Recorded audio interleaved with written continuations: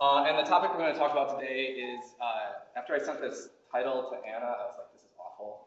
Uh, so multi-level co-authoring educational resources, collaborating with students for the creation of course materials. And so then I was like, let's just call this what it is, uh, which is writing nice free textbooks. Um, and that's really kind of what it's, it's turned into. So we got the funding um, late last spring, and uh, things got off to a bit of a, a slow start. Um, and now things I think are really going quickly, and, and uh, it's been pretty exciting. All right. So um, Vicky talked about this a little bit, uh, but uh, we had kind of a, a, team here that started off with uh, looking at the Provost Affordable Instructional Resources Initiative. Because I, I don't actually remember how I heard about this. Um, Lauren, maybe you emailed me at some point. I don't remember. Um, but uh, but um, so these were a, a, a, series of grants, competitive grants uh, that were offered last spring that granted anywhere between 2.5 and 5K uh, in order to develop an open educational resource or use an educational resource. And this has changed a little bit during the second iteration.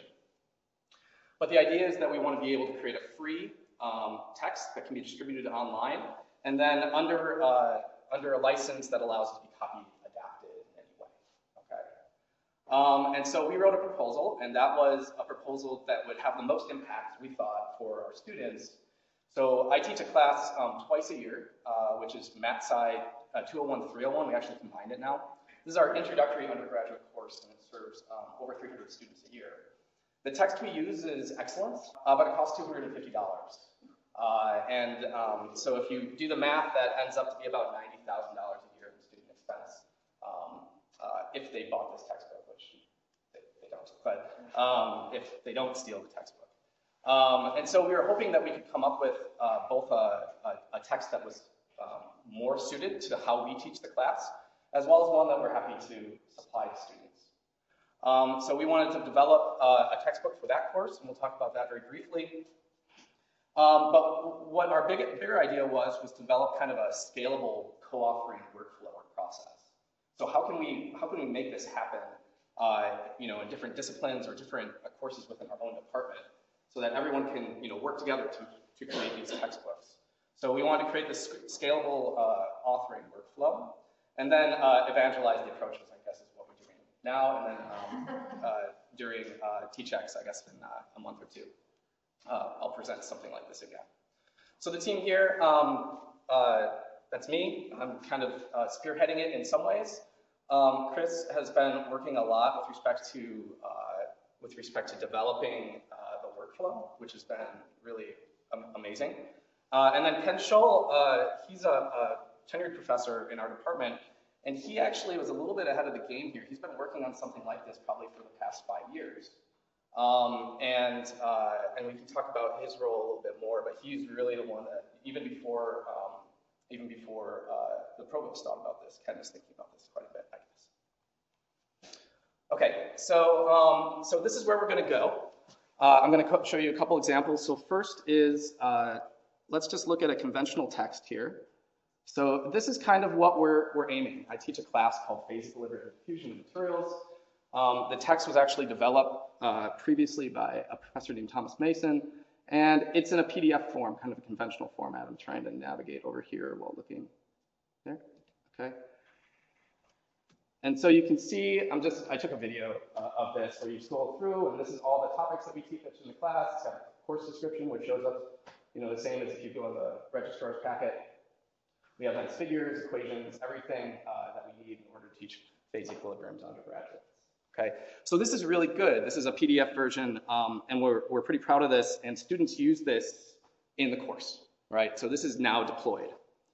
Um, we also have uh, something that's a little bit um, more modern, and I don't think I'll click on the link here, but uh, we'll talk about this in, in a little bit. This is what, uh, this is a digital format of uh, a similar type of textbook. So Chris has actually developed an open educational Northwestern resource template um, using a program called Bookdown. And this is really amazing. So instead of you know using PDF where it's really difficult to get advanced kind of interactivity, now anything that you can do on the web you can do within this module. So we've developed 3D graphics that you can just embed directly into this book. You have situations where you can get, you know, essentially response forms from students, or you can have uh, uh, little, um, uh, you know, if I have a problem or an example and I don't want the student to look at the solution right away, you know, you can have them activate that solution kind of pop up within the web page itself. So Chris has spent a lot of his time working on getting this into a way that, you know, I'm not a, a digital publishing expert, but I can come through uh, and start editing this text myself uh, and creating this product. Okay, so there's five steps to this process. Um, and so the first step, if you guys are thinking about writing an OER, the first step is really identifying a candidate course for your OER. So I'm going to talk about our core a little bit later, and not all of the courses that we have are really, really suitable for this at this time. There's a lot of factors that go into this decision. Um, so, you, you, know, while you guys are sitting there and looking at what we're able to produce today, I want you to be able to, you know, I want you to think about, you know, can I do this in a course that I teach or that I'm involved in? And then the next one is to win an Affordable Instructional Resources Initiative grant, uh, right, due February 19th or so, Chris? March 9th. March 9th, okay, so you got a little more time. Um, and in the workflow that we've developed, you need help, right? Because what I've found is if I try to do everything myself, if I try to write a textbook myself, plus my normal job, it doesn't happen. And so uh, you get help. So you hire work study students or you conscript graduate students uh, and you can entice them one way or another. Um, but you're going to build a team. So this is where the multi-level component of the, of the authoring comes into play. You're going to have students that are working at different levels, all the way down from, I have first year undergraduate students helping me write textbooks and they're listed as co-authors, all the way up to um, you know, tenured faculty that's been around um, and then you've got to organize the project. So you, because these people, you know, the students are work study students, the graduate students have other responsibilities as well. My main job at this point uh, in building a textbook is actually organization, right? Giving them jobs to do so that they can fill up their 10 hours per week with, with making uh, nice, uh, nice product. So um, when you organize the product, product projects, there's a couple things you have to do. Um, we have to make graphics and we have to write words. And so we have to figure out uh, how to typeset, and there's a couple of different options that we have here. How do you get a nice equation? You know, we're not, we're not gonna use Word, um, we're gonna use something else. Uh, but how do you get a nice, how do you get an equation to show up nicely? How do you get a chemical equation to show up nicely? In the engineering field, this of course shows up all the time. How do you get graphics that are consistent with what you're trying to show in the rest of the text? We wanna produce a nice resource for our students. And then uh, you wanna create the template. So once you've identified what type of tools you want to use, you're going to create template files so the students don't have to do all the, groundwork, or at least maybe we help you create the template files. They don't have to do all the groundwork. They can come in and start writing. Okay? Uh, and then uh, I've found that it really helps for me to run uh, workshops for my work study students. So I tried this in the fall without uh, workshops, and um, they were they were pretty lost. Uh, and so I actually run a software orientation workshop um, uh, Chris came in and gave a copyright intellectual property workshop. Um, because of the way that this works, we'll find that there's a lot of material that comes from sources that it is stolen. Okay, so uh, so we have to be really careful about that. Um, and then one that I want to do that I haven't yet is actually accessibility training. So when you're producing these textbooks, um, one thing that I don't think about very much is how it's accessible to all my students, right? Um, and I run into this problem all the time because I co-teach really frequently with uh, a professor who's colorblind, and I make these like really good looking figures, and then he's like, I can't tell anything that's going on in this figure, so I have to adapt it. So actually, I'm very interested in, in thinking about that in the future too. And then uh, once you've once you've done that, you take uh, take your entire idea, right, kind of a, a, bird's eye view, and then you want to organize it into specific project tasks. So we'll see what that looks like uh, very explicitly in a minute. So that's the first step. That's you kind of sitting down, thinking about, thinking about what this is going to look like.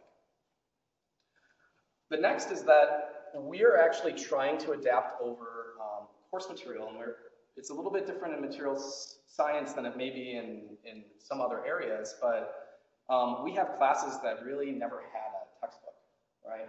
So what they have instead is, you know, they have an instructor who's giving a lecture, they might have PowerPoint slides, they have notes, and so what our idea is, is to take those notes and put them into a written kind of narrative form. That is step number two. So the instructor gives the lecture, um, he supplies the students with the PowerPoint notes if he has those, or the written notes if he has those, and then the undergraduate work studies come in, and they take notes, maybe they videotape, maybe they record. I have students that do all of these. Maybe they're doing this um, in real time on their computer, but they're, they're creating what we call a, a skeleton version of the notes. This is not, you, you a lot of you might be saying, okay, your first year undergraduate engineering student is not going to be able to make your textbook. And you're absolutely right. Um, what they can do is help you get the textbook started. Okay? Because um, that's really the, the hardest thing to do. Okay? So they come in and I, um, I'll talk about money a little bit, how this actually happens and how we use the, the funds that we've been granted. Um, but they come in and they take the notes, uh, they take the recordings and, and um, try to create what we call a skeleton version of. Okay? So they use a number of different tools. Um, is anybody familiar with LyX? Okay, yeah, no one is. it's okay. Is anybody familiar with LaTeX? Yeah, so we can do this in LaTeX. LyX is a way that we can do LaTeX without doing LaTeX. It's like, a, it's like Word for LaTeX, essentially. So we have to teach students much less. It's also kind of, you know, Chris is over here smiling a little bit because it's a little bit janky. Um, but it is, uh, it does work. I, I, can train students in LyX in about an hour, half an hour, and they're able to, they're able to start. Another option is uh, Bookdown, which uh, I showed a quick example of what Chris put together.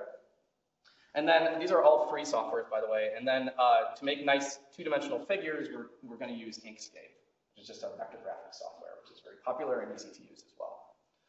So I, I note this with a couple of exclamation points because this is really important, but because I, I didn't do this well in the fall. Um, the student that comes in and takes the notes has to produce those notes in a form that I can look at relatively soon or else you know, it flutters away, it's gone.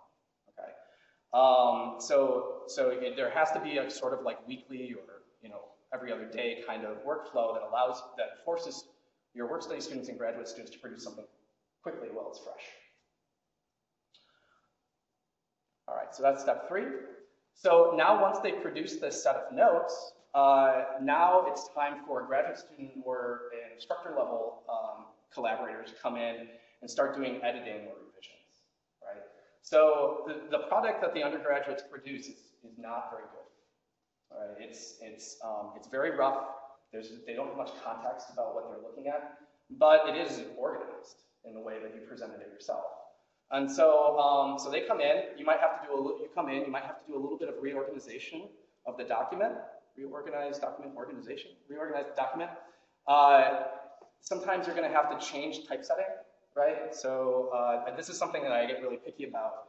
Um, you know, how do you express mathematical variables when you're writing it um, uh, in, a, in a text? Because when I was an undergraduate student, it would change from day to day, right? And I would get so confused about, you know, variable changing that I would spend 20, 30 minutes trying to figure out what was going on. Uh, and that would waste a lot of time. Got to go in and, and, fix the figures, of course, um, add citations and acknowledgments.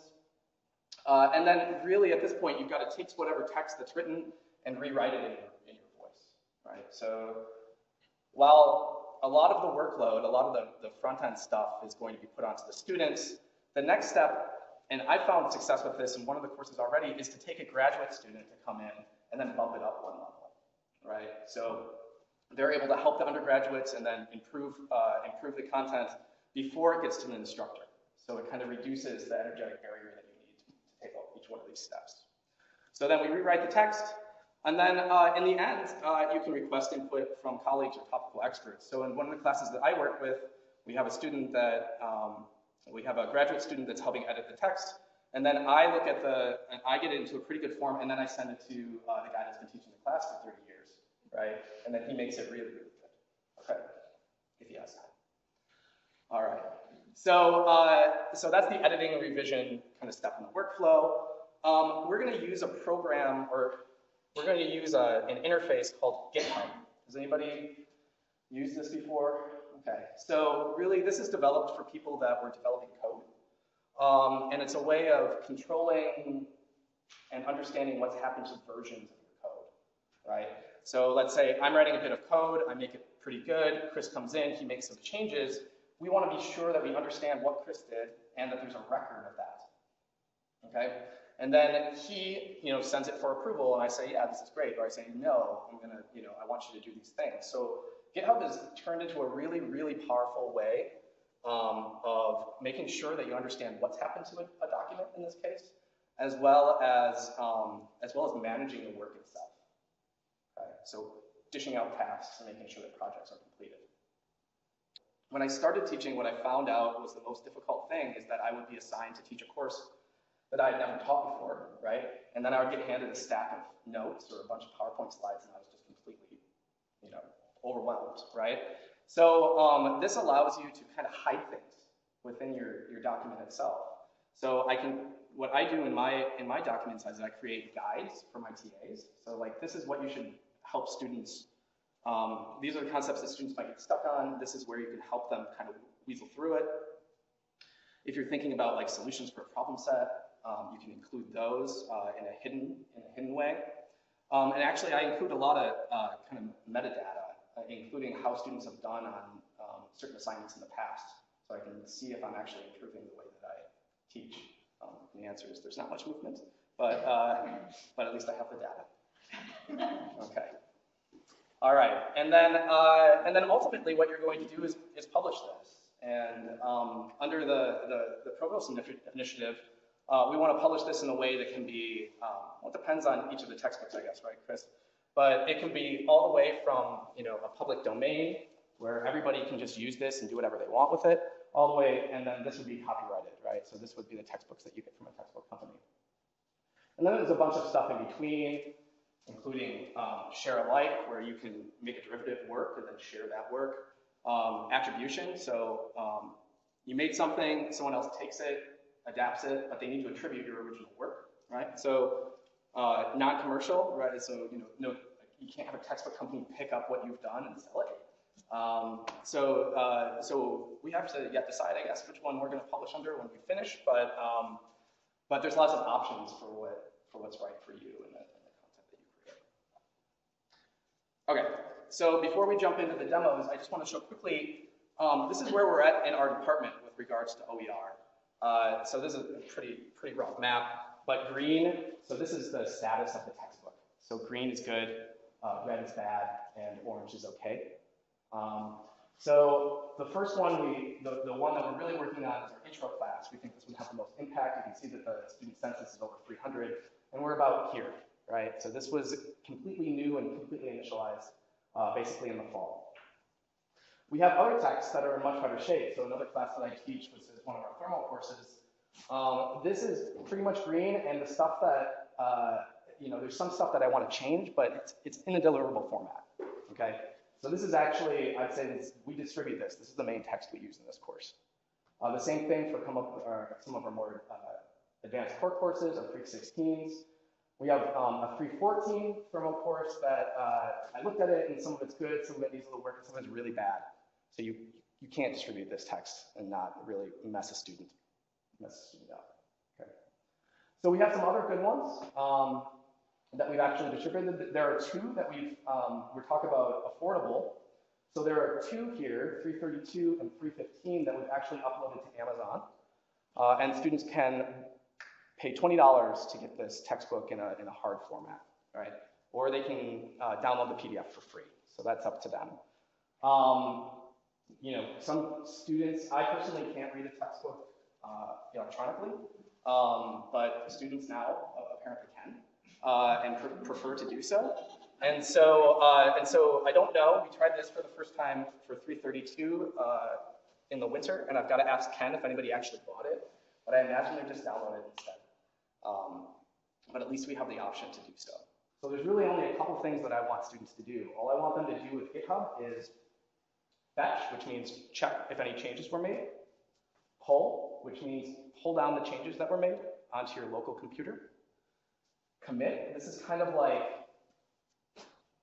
telling, telling GitHub that you made a change. Like, I made some changes to this system, right? Or I, I, you know, I changed the, I changed the equations.